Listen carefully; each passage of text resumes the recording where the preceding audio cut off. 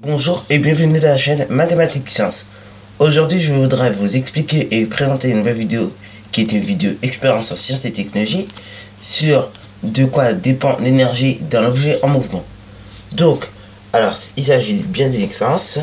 Donc, nous avons comme matériel expérimental une boîte remplie de sucre et deux objets roulants, une balle et une bille. Donc, voilà. Maintenant, nous allons voir de quoi va dépendre de l'énergie de mouvement associée à l'énergie de mouvement. Voilà. Donc, bref, nous allons faire tomber deux balles à 30 cm de hauteur. Donc, voilà, voilà.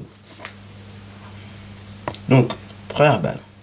Donc là, nous utilisons l'influence de la masse. Ok. Donc la balle est tombée. Donc, voici l'impact de la, de bille quand elle est tombée. En gros, ça nous donne ça. Hein. Tombée ici. Bon, maintenant, nous allons voir l'impact de la balle quand elle va tomber, elle.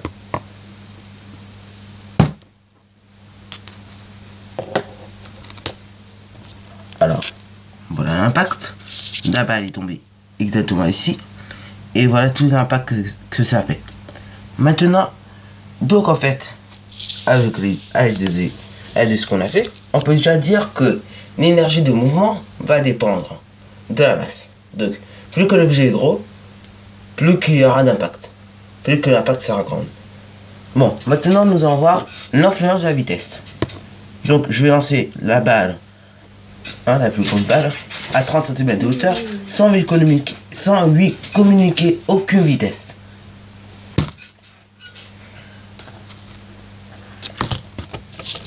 Donc voilà ce que nous avons obtenu. La balle est tombée ici. Et voilà, donc ça nous a ça comme impact. Ensuite, nous allons voir si maintenant je, je vais communiquer ma balle une vitesse. Donc, voici impact. L'impact est quand même euh, plus grand. Donc, alors, à l'aide de cette expérience-là, hein, de, ce détail-là, on peut voir aussi que l'énergie de mouvement va dépendre aussi de la vitesse. Donc, en gros, pour résumer, bah, pour résumer toute expérience, et on peut voir qu'en fait, plus que la masse est grande, plus qu'il y aura d'impact, plus que la vitesse est élevée, plus qu'il y aura d'impact. Et entre et je peux faire une petite remarque aussi, c'est que l'énergie de mouvement peut s'appeler aussi énergie cinétique. Donc voilà, c'est déjà la fin de cette vidéo. Alors si tu as bien aimé, n'hésite pas à liker, à commenter et surtout abonne-toi pour ne rien manquer de tes futures vidéos.